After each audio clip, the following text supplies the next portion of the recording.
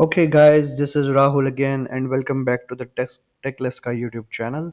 So, in this tutorial, what you are going to learn is if you ever have a problem of managing, installing, and using multiple versions of PHP inside your cPanel WHM based server, you can easily uh, do that.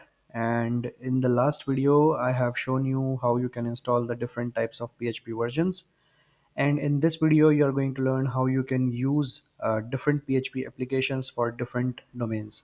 So if you have a server which is a big one and you are hosting multiple domains and apps inside that PHP server right? So the chances are that since some of your applications might be using older versions of php or some applications have have the requirements of specific versions of php while the new applications requires the latest version of php so what you can do is basically according to a cpanel user account or according to the domain settings or even you can choose the php version according to the subdomain of that domain.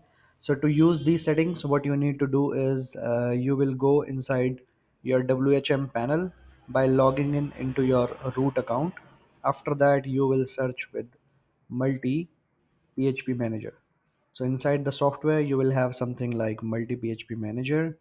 If you go here you will see that there are two tabs here system settings and user domain settings. So system settings is basically the default setting for the entire uh, server like the entire cpanel server.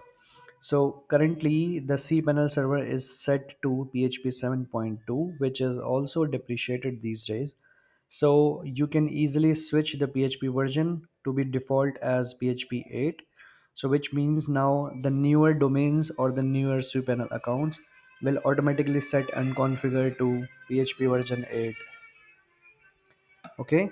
And after that you have the php fpm so don't do this. Uh, don't use it for now. Also in the php handler you don't need to change anything. After that you go to the user domain settings right so this is the system setting which means it is the controller of the entire C cpanel server which means uh, whatever setting you set there will be set for the entire system.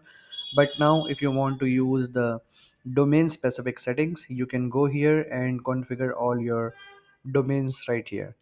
Okay so like now here i have five different entries. One is the domain the app the app app and domain right? So this of the cpanel domain is actually using php 8 and php fpm is disabled for this directory right?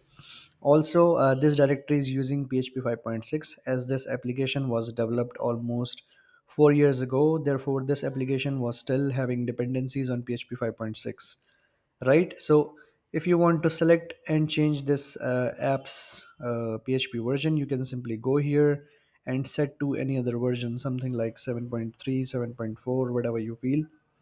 And this is set but to make this application stay working i will switch back again to php 5.6 i'm sorry. So that's how you are going to change this and uh, it's super easy guys. Okay? Thanks a lot. Have a good day. Bye